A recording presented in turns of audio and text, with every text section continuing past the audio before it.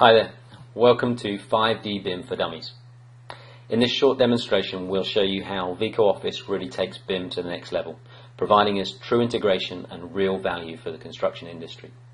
Using Vico Office we can combine multiple 3D models from many BIM authoring tools and perform analysis such as clash detection, BIM-based takeoff, cost planning, schedule analysis and optimization, and production control.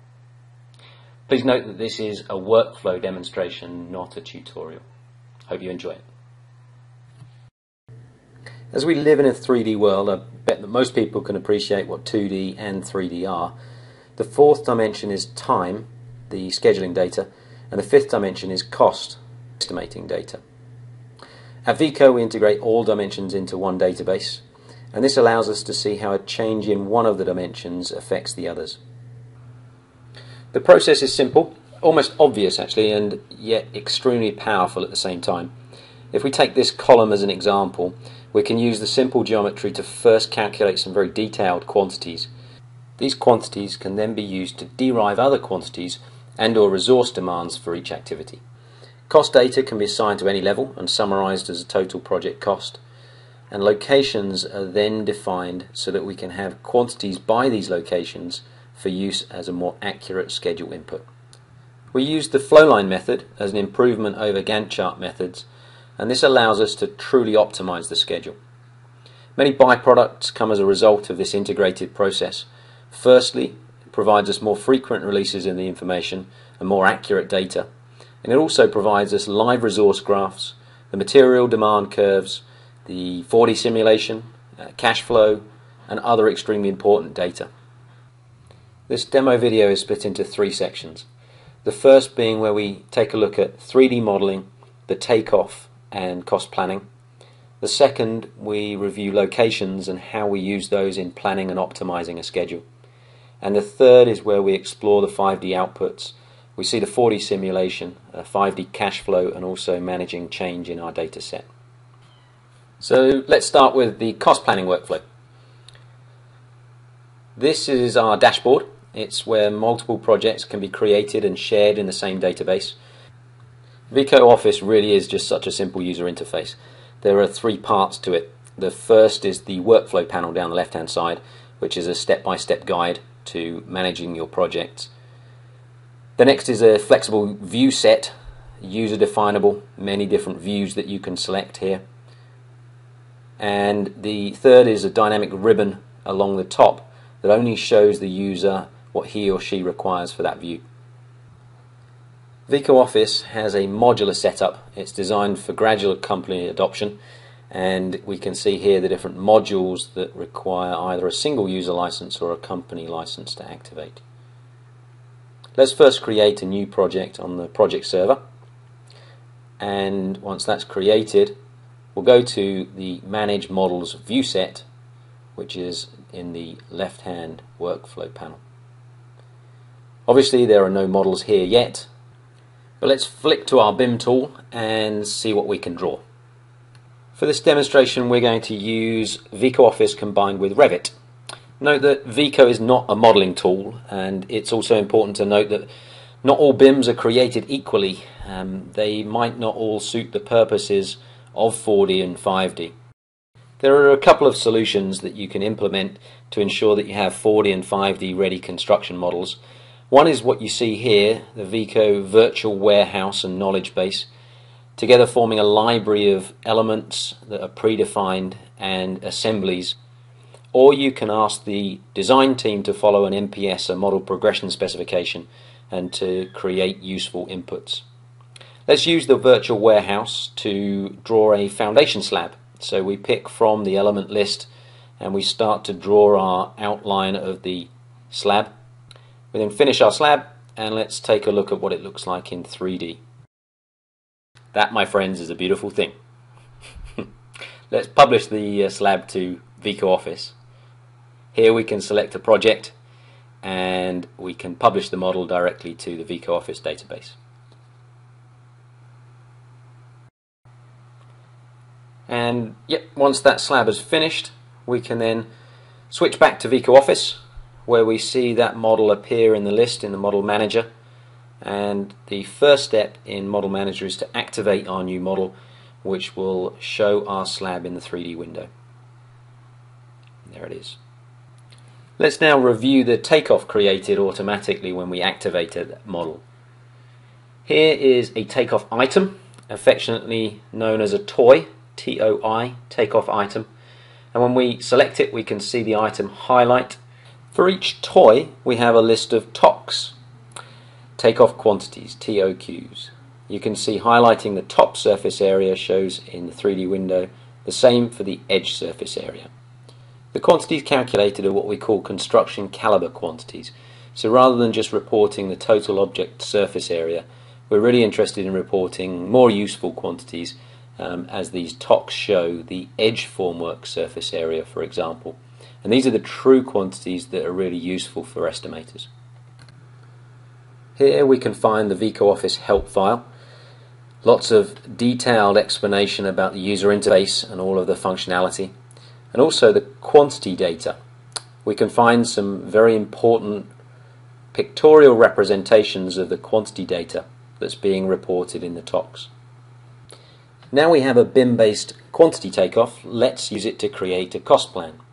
Cost Planner can be used much like an Excel spreadsheet, tabbing between cells and entering data. And along with the flexibility of a spreadsheet interface, we can also use the power of a database to reference information. Here we're using the Vico Knowledge Base, an auto-complete feature to bring in our slab on grade assembly. Selecting the source quantity cell brings up the formula editor and here we can see which TOQ is being used to create the quantity for this line item and pretty accurate there to 12 decimal places. We could add a consumption to derive another quantity type. We can add a waste factor and a unit cost in order to generate a total price for that line item. Cost Planner uses a unique n-tiered structure which really allows us to evolve our estimates as more detail becomes available. Our slab assembly here contains the erecting and stripping of formwork, the rebar, concrete, finishing and the vapor barrier. These are all components and can be quantified and priced. When we activate the slab on grade, it becomes an assembly and the sum of these activities rolls up to form a new price. We can now see the small blue arrow in the total price column indicating this reduction. Previously the number was $300, now it's $295. The next level can be resource data. Adding more detail allows us to interrogate our higher level assumptions. These assemblies can be refined and mined as a company's proprietary knowledge and reused on future projects. The data is set up in many different industry standard formats, such as Uniformat, Master Format, and OmniClass. So that was the cost planning workflow. Let's switch to schedule planning and change the workflow palette to the schedule planner. The first step is to define the physical locations that will be used when carrying out the work on site. For example, floors, zones, phases, chainage, etc. In floor plan mode, we start to sketch the pour zones for our slab. The zones that we draw will virtually split the elements and recalculate quantities per zone. Here we can see each of the zones and we can very easily rename and reorder the zones to complete the location breakdown structure. After splitting quantities by location, we can switch to the Manage Tasks view and start to create our construction tasks. The left-hand screen will have three tasks, one for rebar, one for formwork and one for concrete, and we will associate the assemblies to these tasks. The quantities by location really allow us to calculate durations for each task in each location based on the real amount of work, the applied resource and their productivity. These three tasks can then be viewed in the Gantt chart and if we unroll we can see the quantities, the durations and the costs even in each of the locations for each task. We can add logic between tasks in many views. A nice one is the network view, just adding between the three tasks. Unfortunately, just by returning to the Gantt chart, there aren't many obvious optimization opportunities. As we switch to the flowline view, we add the extra dimension of location. Flowline allows planners to rapidly create shorter, more accurate, and less risky schedules, presented in a format which replicates the way our superintendents and subcontractors actually think. The flowline view allows us to optimize the schedule by balancing resources. This creates a harmonious workflow for all trades, which protects against conflicts in the field. The optimization process removes roughly 10 to 20% of the schedule duration without increasing risk. So we've seen the schedule planning. Let's take a look at the byproducts that our cost and schedule planning process has provided us. Firstly, a more accurate and feasible plan also a resource loaded schedule that updates as the plan changes. Endless other useful reports such as concrete demand curves and a cash flow forecast. And let's not forget that the 4D playback also comes for free. So, recapping briefly, this integrated process has provided us a BIM based cost plan, a more accurate and optimized and resource loaded schedule a 4D simulation, and a 5D cash flow, all as byproducts of the integrated process.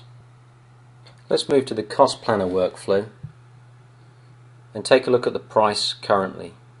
We've got $207,000. If we switch to the BIM model again and revise our slab, make it larger, just adjust the edges and then go to republish that model back to Vico Office. So we're going to publish it on top of the existing model.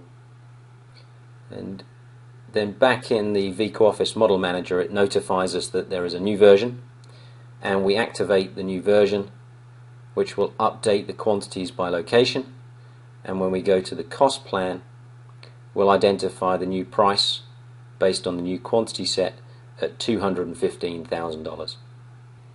It's also pretty important to note that that change ripples through all of the other areas to update the schedule, the resource graphs, the 4D simulation, and the cash flow. So instead of having to wait for another takeoff on a new set of drawings, if we set things up correctly, we can just publish the new model and let the software do all of the heavy lifting. Finally, as the project moves to the job site, the team can utilize the Vico Office Project Controller. This monitors production against the target and allows us to adjust crews as necessary. The engineers, superintendents can add the start and finish dates per location, and the production data then runs the forecasting, look ahead schedules, status reports, and even generates earned value analysis data for the project. With location based quantities, resource loaded schedules, and actual crew productivity rates, the team has enough warning to avoid trade conflicts and cascading delays in the field. In this short Vico Office introduction video, we've followed the life of a slab. We created a 3D model, we used a quantity takeoff for evolutionary cost planning, we divided the project into physical locations and used those quantities per location to drive our schedule. We then briefly introduced how those tools are used in the field to control production. One item not covered in the simple model was clash detection. Obviously we only had one element. At Vico we've seen that relations improve significantly when this process is followed. If we first ensure that the building is constructible, we can use that virtual model to extract better quantity data. Leveraging that more granular data in the planning and negotiation process is key.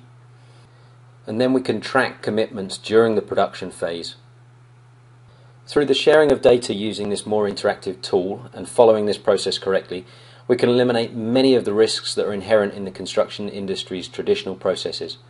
We can develop healthier relationships, and your company can win more business as a result. You can see more comprehensive project examples in Fridays with Vico sessions on our website and on the YouTube channel. Please do get in touch for more information on the Vico Office product.